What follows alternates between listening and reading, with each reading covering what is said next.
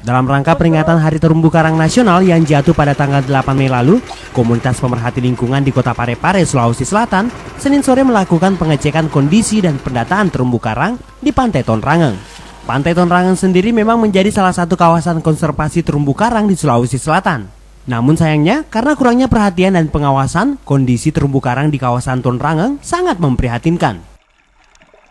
Kegiatan yang kami lakukan adalah ekspedisi penyelamatan terumbu karang di mana terumbu karang yang ada di di lokasi kami itu sangat memprihatinkan karena ekosistem yang kurang dibawa karena rusaknya terumbu karang. Hmm. Jadi kami harapkan harus ada harus kita bersinergi dari pihak pemerintah khususnya masyarakat, nelayan.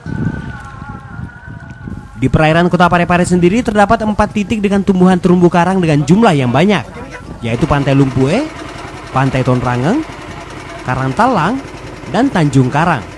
Namun kondisi terumbu karang di keempat titik ini sangat memprihatinkan. Hal ini diduga kuat karena aktivitas nelayan yang melakukan pemboman ikan.